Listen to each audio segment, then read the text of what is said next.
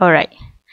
So, in order for us to understand what is this polar form for, we have to recap a bit that before this, I've already told you in previous video that z equal to a plus bi is actually the Cartesian form for our complex number. So we have to change it into z equal to r in the bracket cos theta plus i sin theta where r is always greater than 0 which means positive and then theta is in between negative pi and pi. Just in case you don't remember, pi is actually 180 degree. Okay, so in between negative 180 degree, also 180. But then we always use radian for polar form. Huh? Okay, so let's look into our uh, Argand diagram here first. So, in case you have a point here denoted by AB, so we actually represent this into a, an Argand diagram which the horizontal axis represents real parts and then the vertical one represent imaginary parts. So consequently, the hypotenuse here will be R where the modulus of Z. Okay, which the component y is always b and component x is always a. Okay, so now we have to understand r is actually the modulus of z. How to find r? As simple as the square root or surd of a squared plus b squared. Okay, even though if you have a and b negative, you should just square them up and write whatever sign inside here okay and then theta is argument z so it's actually an angle huh? So afterwards we're gonna see what this angle is actually. So i represent to you one of our method here called AMAP AMAP so now what is this AMAP for? So A is the Argand diagram. You have to know and state which quadrant your complex number stands okay and then modulus find modulus z. So therefore you should know how to calculate r which is the surd of a squared plus b squared. And then argument is the angle that made up with positive x-axis what i meant by positive x-axis is actually okay you have x-axis and y-axis right? As usual. The x positive is always on the right here. Okay. So theta is always angle who made up with positive x-axis means that the theta here should be modulus b over a straight away. The vertical part y over with the value in x. Uh, the real one. This one is the imaginary one. This one is the real one. Okay. So now consequently if you have your complex number to be made up of x negative but y positive. So that's why your theta now is this one here. So basically we call this as beta first. Our acute angle first ah. Right so what will happen subsequently if you have on in the third quadrant uh, you should have negative outside but then 180 or pi minus with arc tangent of magnitude b over a what we call as modulus here is always positive. Modulus B over A always positive kan dia. Okay, just in case you have a negative value in your complex number, so just make it as positive. Alright, so then what happened in fourth quadrant, you should just put up a negative sign in front of it. So it's arctangent of B over A again. Okay, because it always came from here. And then lastly, the last step should be you need to represent your Z equal to R cos theta plus I sin theta. Just take it your value for R as well as your value for theta. So this theta here and this theta here will be the same, huh, my dear? Alright. So that is your polar form. So now, so now just recap a bit.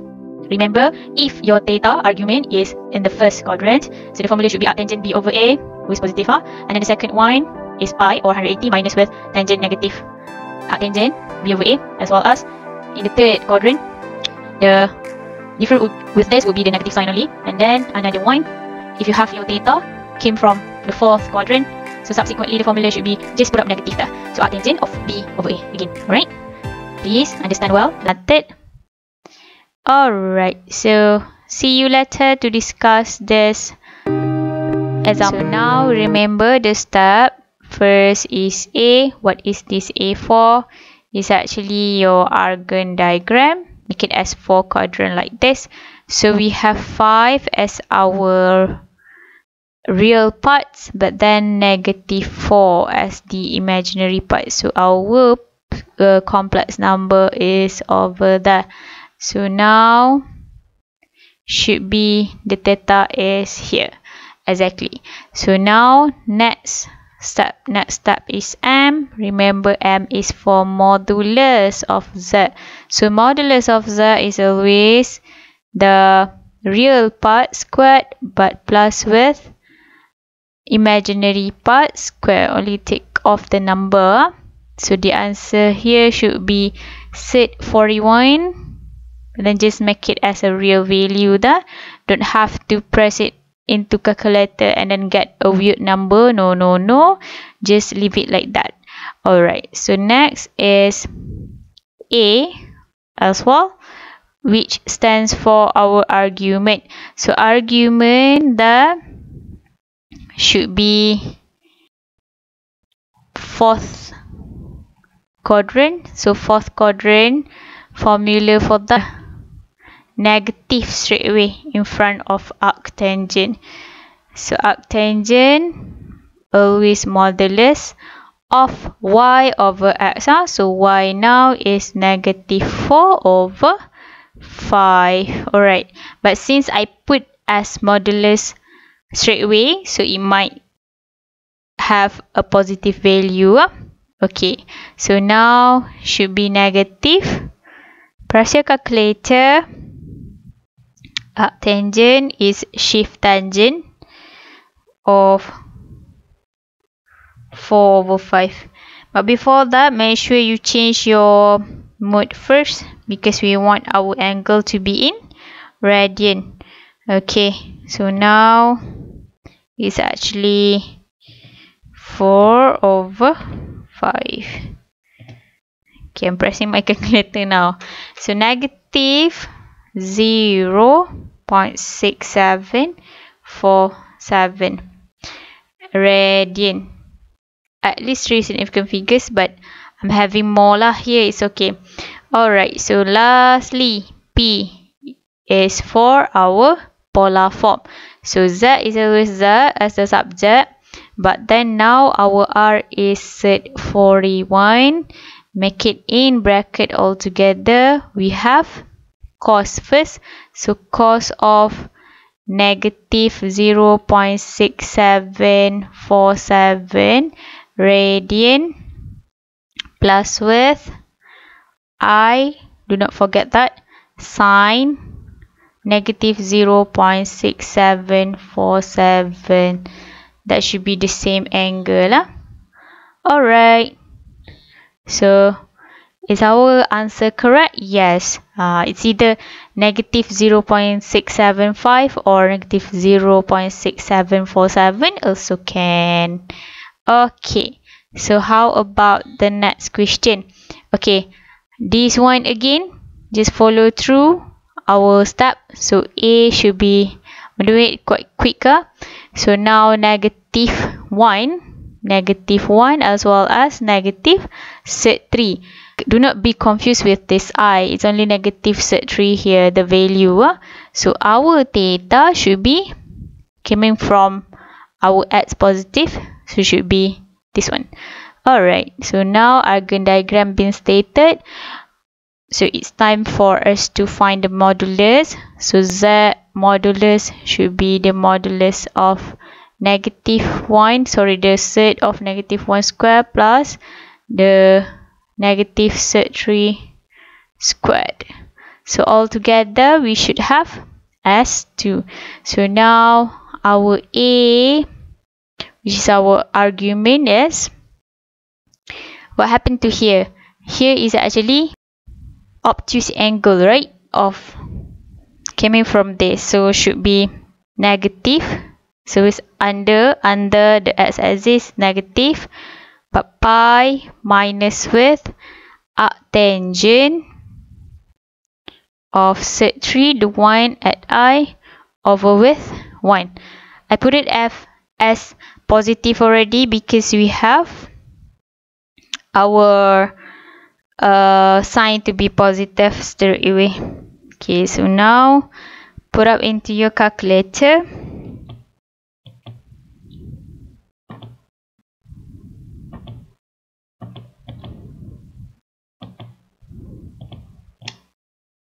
you would have